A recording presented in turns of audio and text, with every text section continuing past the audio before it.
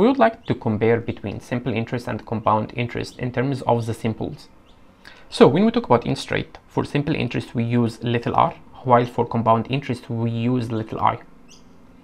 For time, for simple interest we use capital T, while for compound interest we use little n.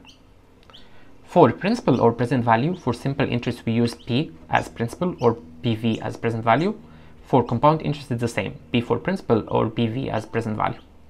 For future value, for both simple interest and compound interest, we use future value, which is FV.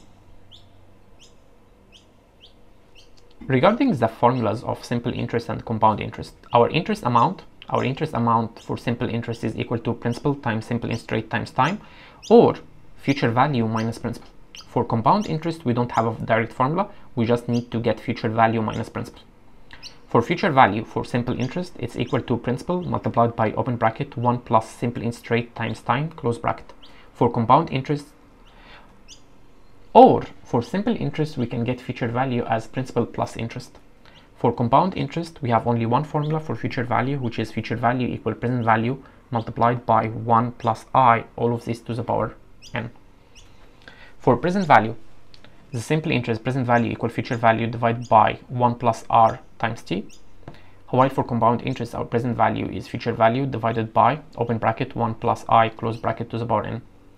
Our interest rate for simple interest, our simple interest rate is equal to future value divided by p minus 1, all of these divided by time.